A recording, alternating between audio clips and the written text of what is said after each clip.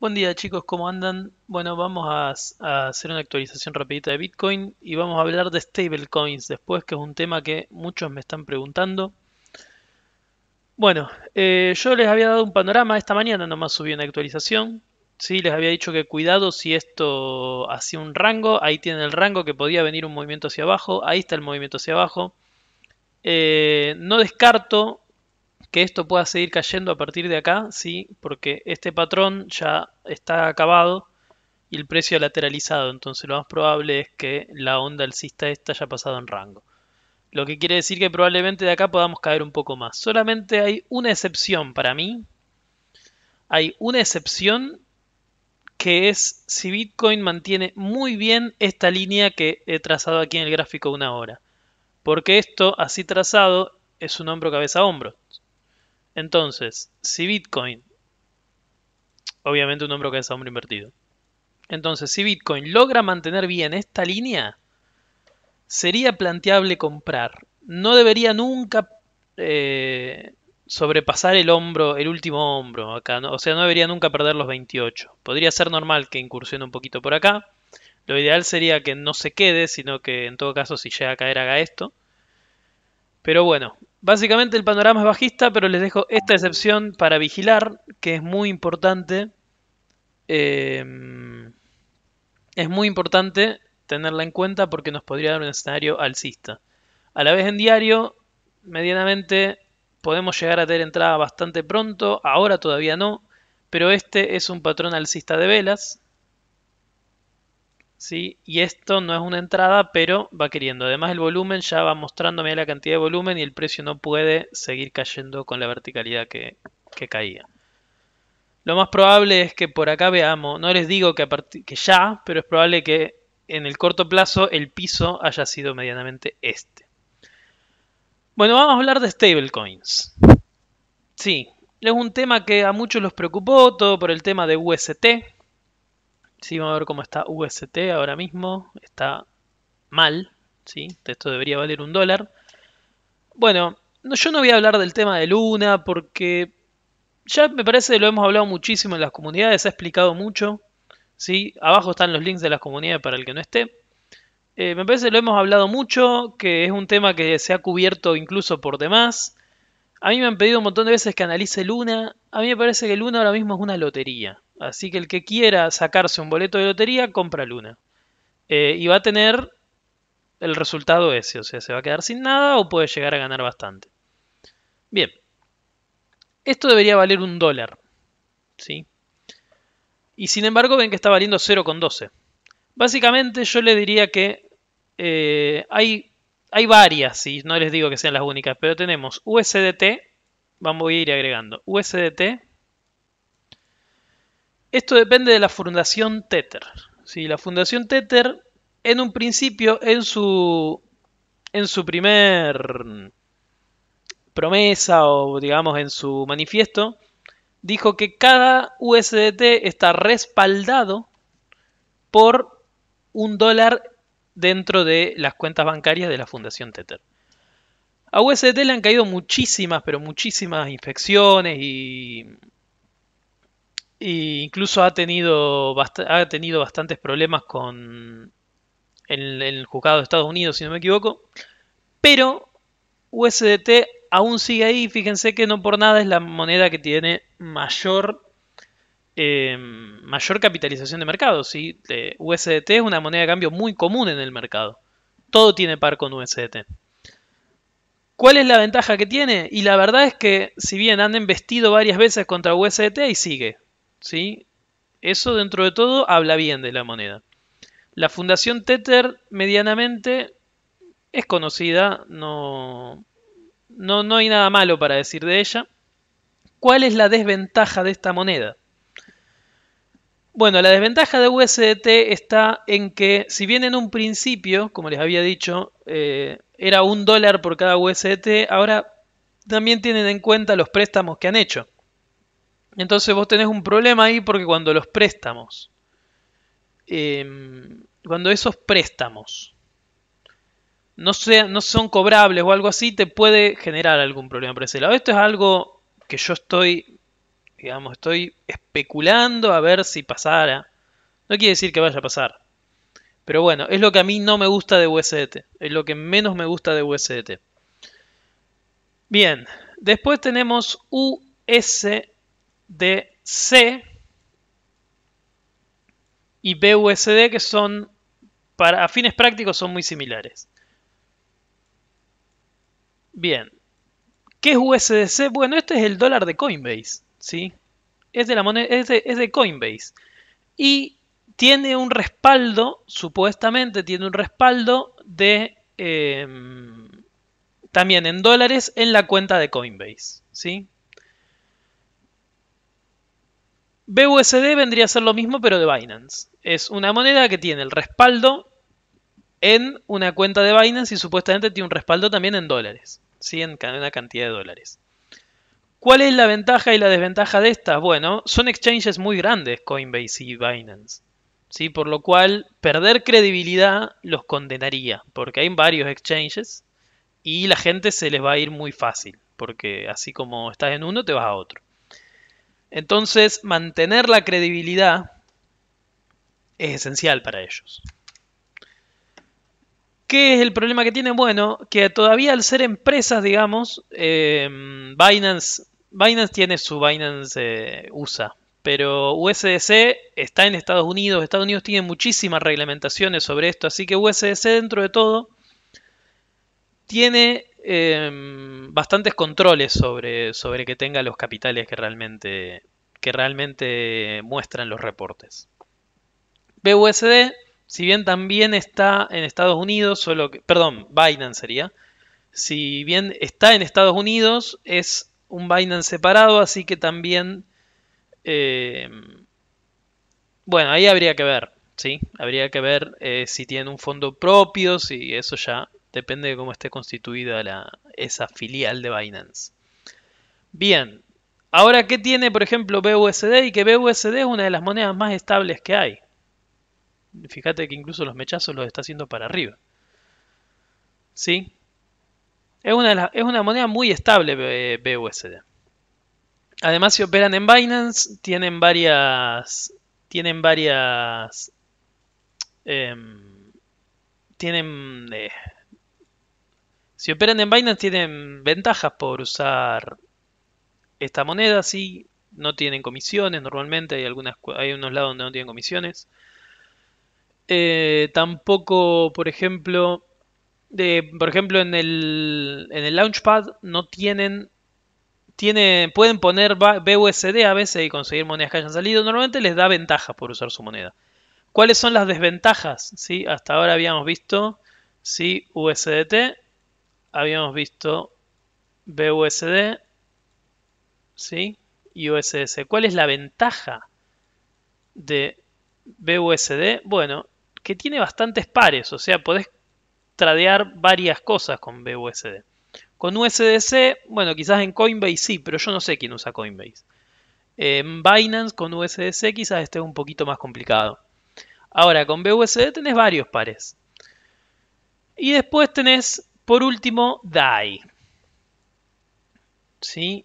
DAI no es una empresa, DAI es un contrato inteligente. Es una moneda totalmente descentralizada. Todas estas son empresas. O sea, las empresas pueden correr la suerte de, tanto en reglamentaciones como en economía, de lo que le ocurra a una empresa. Sin embargo, DAI es un contrato, sí, que se maneja. Yo no quiero hacer esto algo demasiado complejo. DAI se maneja con colaterales, ¿sí? O sea, vos para retirar DAI tenés que poner algo que le hace de contrapeso. Vamos a ponerlo así. Entonces, eh, DAI es una moneda estable y descentralizada. A mí me gusta muchísimo eso de DAI. Lo que no me gusta de DAI es que es difícil encontrar par con DAI, o sea, es difícil tradear con DAI. Por lo que yo creo que quizás esta sería una moneda muy recomendable para el que quiera tener, por ejemplo, un plazo fijo en cripto en estables. ¿sí? El que quiera tener un plazo fijo en estables puede elegir DAI, porque al ser descentralizada, tener un valor bastante, bastante estable, ¿sí? Fíjense igual, bueno, ninguna se ha salvado de estos mechazos, por eso justamente estamos haciendo el video. De todas formas son mechazos al 0.98. Ahí vamos. Fíjense dentro de todo, esto lo podemos encontrar en, varias monedas, por ejemplo si vamos a USDT también, por eso justamente estamos haciendo el video, tuvimos esto que, que preocupó a mucha gente, que fue una manipulación parece.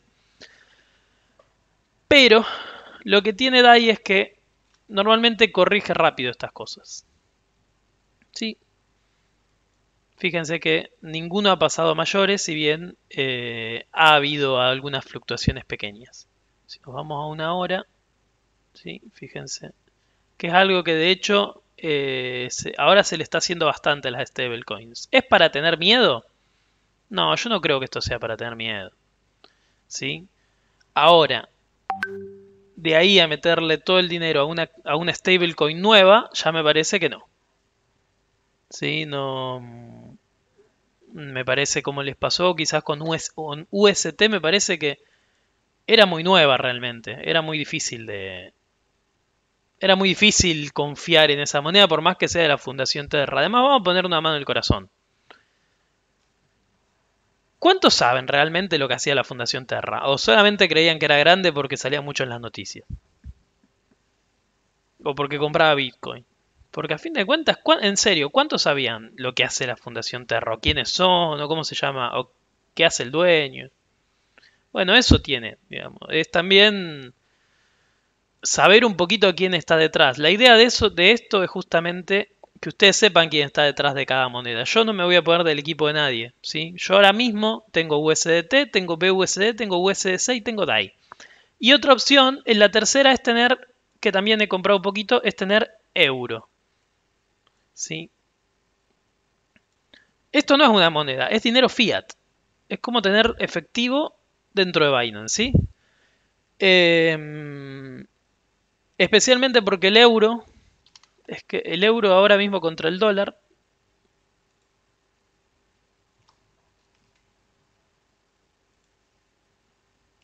si ponemos el gráfico fíjense bueno en una hora bueno en una hora no lo vamos a comprar lo vamos a vender en cuatro horas esto ya casi tiene un rebote en diario si viene cayendo el euro viene perdiendo normalmente el euro siempre estaba alrededor de la paridad 1.15 sí ha llegado un poquito más arriba Ahora viene cayendo el euro con todo esto. Pero yo medianamente la compra que la hice la hice por el 1.05. ¿sí? Ojo también porque esto no quita que pueda seguir cayendo un poco. ¿sí? Pero igual tener euros, eh, al ser una moneda, medianamente, una moneda fiat, digamos, toda la vida, tiene las ventajas de que normalmente no tiene las fluctuaciones que tiene que tienen otras monedas, ¿sí? Yo en todo caso, si voy a comprar, voy a comprar acá en la caída. Sí, yo ya compré un poquito más arriba, 1.05 más o menos por ahí. Eh, y después, y después eh, veré si me paso de vuelta a USDT. Voy a tratar de agarrar algún rebotecito, aunque sea muy mínimo. Y de paso estoy en euros que tengo eso de para cuidarme de la volatilidad. Eh, el tema con las stablecoins, de vuelta, yo creo que no es para preocuparse. Creo que todavía estamos un poco sensibles por todo este tema de Luna. Y viste como que eh, no, nadie esperaba lo que iba a pasar. Así que yo realmente no creo, no creo que esto eh, pase a mayores. De todas formas, voy a ir, em, voy a ir actualizando. Si llega a pasar algo más, obviamente voy a ir actualizando. Bien, eh, me voy a pasar a las preguntas, ¿sí? Análisis, eh, los voy a mandar directamente a los grupos, ¿sí? Más, mucho más sencillo. Y me voy a pasar directamente a las preguntas que me han hecho, que me han hecho llegar. La primera pregunta es sobre el apalancamiento que me querían preguntar. El apalancamiento es algo muy sencillo, es pedir prestado. ¿sí? Entonces yo tengo 10, 10 dólares en futuros y me apalanco por 100. Lo que estoy haciendo en realidad es abrir 10 contratos de 10 dólares. ¿Sí? Entonces, yo voy a ganar como si tuviera 100 dólares, pero también voy a perder como si tuviera 100 dólares. Entonces, cuando yo pierda 10 dólares, el, exchange no me va a regalar nada. Entonces me va a cerrar la posición y me va a quitar los 10. Esos 10 ya no existen, son del chino de Binance ahora. Bien. ¿Qué pasa? No es lo mismo perder 10 dólares. No es lo mismo perder 10 dólares con, con, con, con 100 que perder 10 dólares con 10. ¿Sí? Porque esto es un 10% de esto. ¿Verdad? Entonces, cuando tu trade vaya un poquito mal, tus 10 dólares se van a ir. Eso, cuando, digamos, tengas la pérdida de tu dinero, del dinero que realmente tenés, eh, va a ser en tu precio de liquidación, que es un precio al que vos llegarías ahí cuando ya se te agotó el dinero, por decirlo de una forma. Eso es el apalancamiento, es pedir prestado. ¿Sí? Esto está explicado igual en los videos futuros, pueden ver el video de futuros directamente. Em, yo solamente les digo una cosa de esto, que más o menos para darle un cierre. Yo acá, ¿sí? Eh, si ustedes, por ejemplo, tienen 10 dólares y, van a ir por 10, ahora puede ser porque, bueno, no sé, cada uno sabe lo que hace o lo que no hace y en qué gasta su dinero. Ahora, si vos tenés 100 dólares en la cuenta y no vas a abrir otro trade, en vez de ir 10 por 10, que estás tradeando con 100, ¿por qué no vas 100 por 1 y pagas menos comisiones? Pero las comisiones también están, están ligadas al apalancamiento. Entonces la gente no sé, capaz tiene 100 dólares y en vez de ir 100 por 1 va 10 por 10. Eso es útil si querés abrir 3 o 4 posiciones, que tampoco sería lo, lo ideal porque podrías ir 25 por 4. Pero bueno, ponele que querés abrir 10 posiciones, entonces estás tradeando con 1000 dólares cuando realmente eh, solo tenés 100 en total, ¿verdad? Si vos agarrás y usás todo tu capital, ahí te conviene el apalancamiento. Ahora, si vos agarrás si vos agarrás y no usás todo tu capital, ir 10 por 100 o ir 100 por 1 es lo mismo. ¿Sí? Perdón, ir 10 por 10 que ir 100 por 100... Bueno, ya me hice lío. Ir 10 por 10 sería 100, ¿no? Ahí está, perdón. Y 100 por 1 también es exactamente lo mismo. Porque estás tradeando 100 dólares. ¿Sabes cuál es la única diferencia? El apalancamiento que estés usando. Esa es la diferencia que eh, vos estás teniendo. Y las comisiones que vas a pagar. Y tu precio de liquidación. El tema con esto está pasa lisa y llanamente por la cantidad la cantidad que representa de tu, de tu cuenta. Si vos tenés una cuenta de 100 dólares y se te ocurre ir 10 por 20, ¿sí? Vas por 20, estás, estás tradeando 200 dólares, ¿sí? Estás tradeando 200 y vos tenés 100, ¿sí? Estás tradeando un, estás tradeando un 200% de tu cuenta, ¿sí? Es... Eh, la verdad es que a mí me parece que no, no tiene sentido. ¿Qué crees que te diga? O sea, el apalancamiento normalmente te lleva a usar dinero que no tenés. Ahora, si vos, no sé, vas a usar, eh, tenés 100 dólares y tenés un trade abierto de, 20, da igual si ese trade es de 2 por 10 o de 5 por 4 o de 20 por 1. La diferencia son las comisiones, entonces te conviene 20 por 1 siempre, ¿verdad? Lo que tiene es que si vos vas a abrir muchas posiciones, sí capaz, o sea, estás usando más dinero y bueno, tendrás la suerte que, tengan esas operaciones. Así que bueno, la explicación de, apalancamiento es esa. ¿sí? Es multiplicar el capital que vos tenés. Ahora, si tenés el capital ese final, con el resultado de la multiplicación, usalo por uno y listo. Vas a pagar menos comisiones. ¿Qué sentido tiene ir eh, muy apalancado si podrías ir por uno y no pagar comisiones. ¿Sí? O si vas a tener el dinero inmovilizado de todas formas. La diferencia de las comisiones tampoco es muy grande. Pero bueno, a mí por ejemplo me dicen, Juan, ¿y, cuántas X? Yo mando una alerta y me dicen, Juan, pero ¿cuántas X le ponemos? Es que da igual. ¿Sí? Si vos vas a ir 10% de tu cuenta por uno, es 10% de tu cuenta. ¿Sí? No hay mucha vuelta que darle. Si vas a ir 5% de tu cuenta por 2, es 10% de tu cuenta, es exactamente lo mismo, pagas más comisiones. Si vas a ir, bueno, 3 por 3, ponele, no es exacto, pero también es más o menos lo mismo. Vas a pagar más comisiones si vas 3% de cuenta por 3. ¿O no? Ahora, Si vas 10% de tu cuenta por 5, estás tradeando media cuenta. ¿Sí? Porque la cantidad de dinero que estás usando es la mitad de la que tiene tu cuenta en total. Esa es la diferencia. A fin de cuentas, lo que importa es la cantidad que representa el dinero en total de tu cuenta entera. Eso es lo que importa. El resto eh, depende cómo haces la cuenta, pero lo que importa es el resultado. No importa cómo, cómo llegás a ese resultado, lo que importa es cuánto representa el resultado de esa multiplicación para tu cuenta. Eh, bien, ese es el primero. Después me habían pedido si podía hacer un análisis de Luna. Chicos, yo este lo analizo, las otras las voy a analizar por el canal. Pero chicos, el tema con Luna es, sencillo. A ver, esto es una lotería. Si ustedes quieren invertir en algo que se va a comportar como un billete de lotería, denle nomás, ¿sí? denle para arriba y, bueno, qué sé yo, suerte realmente. Pero no podemos aplicar un análisis en esto. Porque el análisis técnico no te va a servir para esto. De esto te puede llegar a servir si tenías los datos de Luna. Luna igual dentro de todo en diario para short estaba bien, pero en short ni, ni loco ibas a saber que iba a caer lo que iba a caer así. Está bien, ahí, tenés el hombro cabeza hombro marcadito, eso estamos bien. Te podría dar una caída de los 50 dólares aproximadamente a ojo mirándolo así. Pero no sé si esto. Así que bueno. Eh, bien, y creo que esas eran todas las preguntas que habían formulado. Bueno, bueno, em, son esas las preguntas que tenemos. Yo este vivo lo iba a hacer el día de ayer, lamentablemente me quedé sin internet, no pude, no pude responderlas, no pude responderlas y no pude hacer el vivo, pero bueno, subo un video para que medianamente tengamos la información que les había prometido. Bueno, Em, les dejo un abrazo. Hay algunas eh, estables que no mencioné. Hay varias estables más, ¿sí? Pero yo realmente creo que las más, o sea, las más fiables serían estas que he mencionado.